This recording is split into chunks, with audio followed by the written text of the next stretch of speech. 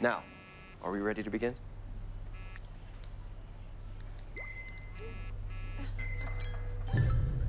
What's going on? Annabelle says there's a stunt happening in the square. Something to do with Superman. I need this for my site. Bathroom break. Ten minutes. I'll be right back.